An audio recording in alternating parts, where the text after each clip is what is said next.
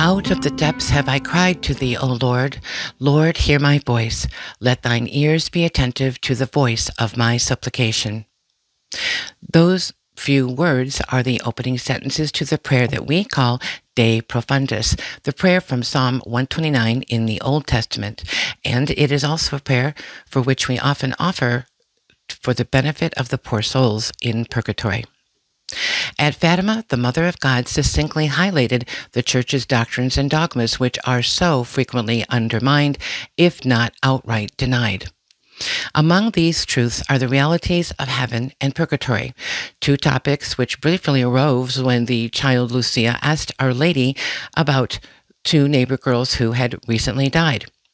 Our Lady revealed that one was in heaven, but of the other, the Virgin said, She will be in purgatory until the end of the world. That latter disclosure from the Mother of God never fails to flabbergast many Catholics, and it usually results in what I call purgatory and the question of Amelia, for that was the girl's name. The most common question is, what could she have possibly done? Today, I'm going to offer additional thoughts in regard to this question. Dear listeners, hello and welcome. I'm Marianna Bartold, the guest host of Signs and Secrets, featured by the Fatima Center's channel. I'm the author of Fatima, The Signs and Secrets, Guadalupe, Secrets of the Image, and I am the host of my own growing channel, Genesis 315. Thanks to the generosity of the Fatima Center, you will find in the description box various links to my works and to my channel. Now, today I am again sharing with you excerpts from my book, Fatima, The Signs and Secrets, which features over 1,000 footnotes, with quotes from various sources, including the Holy Scriptures, both the Old Testament and the New, St. Augustine of Hippo, the Council of Trent, and above all, quoting our Lord in the Holy Scriptures, I outline the proofs of the Church's doctrine on purgatory. This doctrine is one which pertains to both the interior life of the soul and the inseparable justice and mercy of God. Incidentally, the word purgatory comes from the Latin term purgare, which means to purify or to cleanse. But to return to the question of Amelia, what did she do?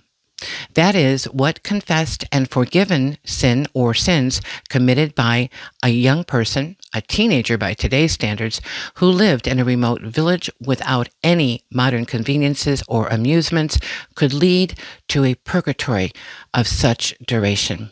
The only answer upon which we can assuredly rely comes from Sister Lucia, who had been the eldest of the child Fatima visionaries.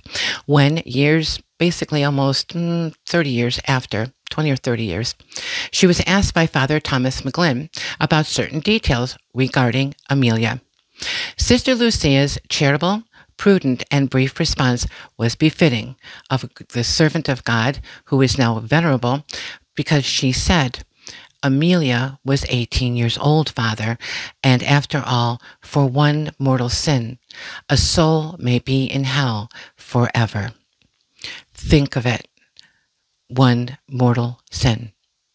Was Lucia's response a delicate hint that it was one mortal sin, obviously repented, confessed to, and absolved by a Catholic priest, for which Amelia would endure a purgatory incomprehensible to our minds? Did Our Lady make this known to Lucia? We really don't know, but if such was the case, it still remains that we do not know with absolute certainty the details of Amelia's confessed sin or sins, but neither do we need to know. Instead, we should consider the reasons why Our Lady allowed to be made public the state of two souls, one who was already in heaven, a revelation which didn't seem to impact many people, and one who would be in purgatory until the end of time. In fact, we can well reflect on these following words from the Fatima historian and apologist, Brother Michael of the Holy Trinity.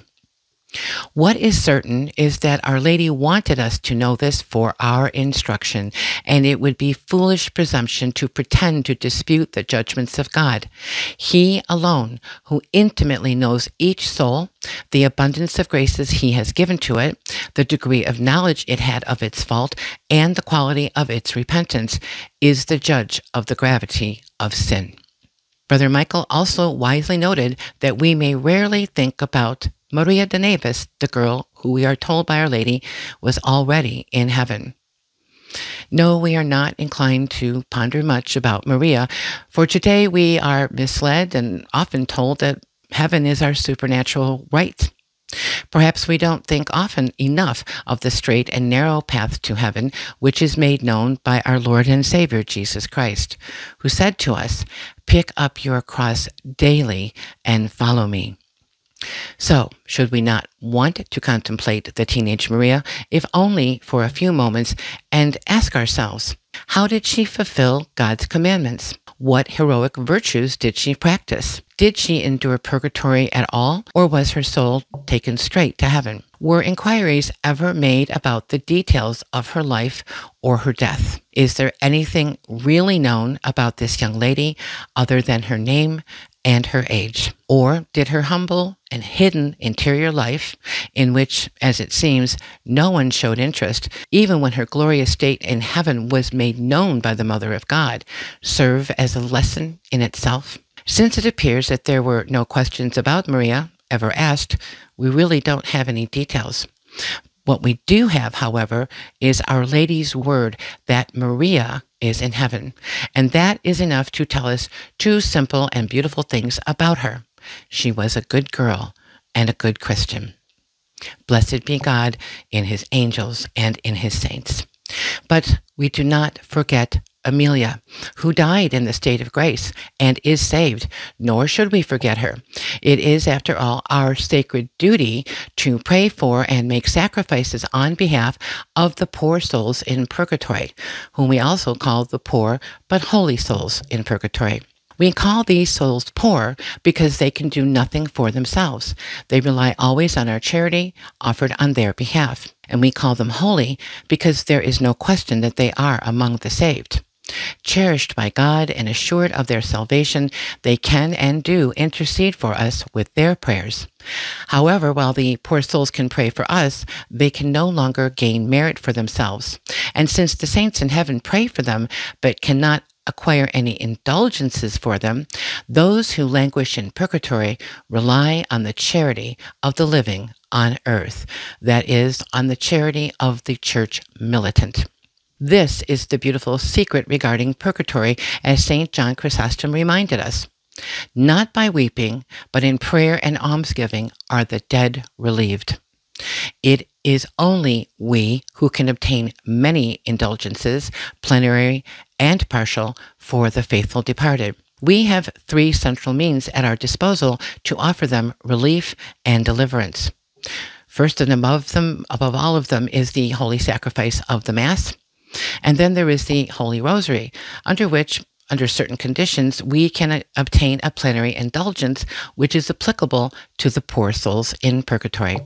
And then there is almsgiving, of which the latter includes, but is not limited to, assisting others in need, fasting, and making all we do a sacrifice not only for the conversion of sinners, but also for the relief of the poor but holy souls in purgatory. And remember, since God's generosity can never be outdone, He not only allows all of our offerings to help the souls in purgatory, but He also grants that these same actions gain us merit, an increase in sanctifying grace, a higher degree of charity, closer union with God, and thus a higher degree of glory in heaven for all eternity. There is much more that our God has revealed about purgatory, but what is most important is to follow the charitable advice of the eternal church, and which is so beautifully summarized by St. Augustine. Forget not the dead and hasten to pray for them. Finally, please allow me to share this reminder that you are invited to join me every other Wednesday for more episodes of Signs and Secrets here on the Fatima Center channel. Until the next time, may God bless you and may Our Lady Mary keep you and yours under her starry mantle. Salve Regina.